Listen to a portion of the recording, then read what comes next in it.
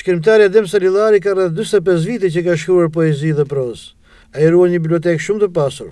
Por ndërkohë, ai ka patur dhe shumë miqësi me personazhe të njohura të historisë së qytetit të Durrësit, që nga poeti i arratisur Bilal Xhaferri, vëllezërit Popaj, si dhe fqinjësinë familjare e miqësinë me Dritëro Agollin, kur banonte në Sukth, me rrënjë që në vitin një mijë e nëqind e pesëdhjetë e katër. Lidhur me këtë, ai kujton. Më ka dhënë libra Bilal Xhaferi, rahmet pastë, që ka qenë i internuar këtu. Për shembull Demonin, mua ma ka dhënë Bilal Xhaferi kur ka qenë në Kullë me Manet, me Namik Manen, me këta që kanë qenë edhe miqtë e mi të parë.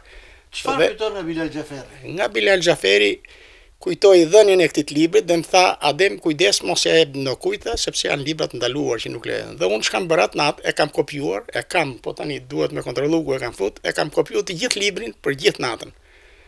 Libri i vogël, poemë, domethënë Demoni, edhe të nesmen ja çova Bilalit, domethënë, kujtoj që ishte një djalë shumë i gjallë. Një djalë me shpirt të madh. Një djalë i zgjut. Domethënë normal ishte më i madh se unë. Një djalë që e donte Shqipërinë dhe atdheun, pavarësisht si paragjykohej. Si e përjetove arratisjen, vdekjen e tij? Arratisjen normal sepse e mendoja që do ikte një ditë ai njeri, ashtu siç mendoja edhe për Popat, se unë i kam pas mbajt shumë afër Niko Popën dhe kompani, që kanë qenë këtu të gjithë. Edhe i kam ndihmuar, se i kam pas pak nga nëna të mitë. Domethënë vdekja e tij më erdhi keq, me thënë të drejtën, edhe mendova që nuk ka vdek thjesht aksidentalisht, ose natyrshëm, do ketë pas diçka që... Këtu në Sukth ka qenë, më keni thënë ju, në biseda që edhe Dritëro Agolli, ç'kujtoni për atë? Dritëro Agolli ka, ka banuar në fermën e Sukthit, me gjithë familjen e tij, me të jëmën Xhexhen, me të vllanë Tajarin, ka pas tezen, ka pas nipat, motrën të martuar këtu matanë lagjes, dhe kur shkoi që shkoi për studime, normal, shkoi në Bashkimin Sovjetik, kaloi në Tiranë. Di që baba im e ka mbajtur shumë afër, ka qenë njeri shumë i afërt, Domethënë ka qenë një njeri i thjeshtë, unë vitet e fundit pastaj kam pas edhe lidhje më tepër, se i shkoja në Tiranë ke dyqani që ka tani aty ke ajo selia e PS-së, Libraria Agolli.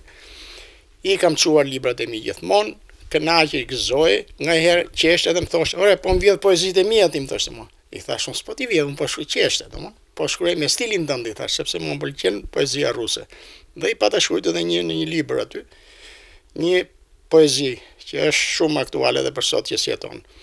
Iu bë qejfi shumë, më inkurajonte, për mua ka qenë një nga poetët edhe është nga poetët më të mëdhenj popullorë shqiptarë, një poet shumë i lartë, një njeri që ka ditë ta trajtojë edhe vendlindjen e vet dhe gjithë kombin edhe jetën e popullit shqiptar.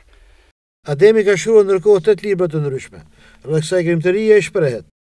Kam filluar të shkruaj letërsi që në moshë të vogël, të zhgaravis nga mosha pesëmbëdhjetë vjeçare, nëpër shkolla, nëpër që lexoheshin atë kohë, avash avash pastaj kaluam, filluam të shkruajmë ke Adriatiku, ke Teuta Mulaj, Kam shkruajtur ke Drita, domon gazeta letrare që ka qenë në atë kohë.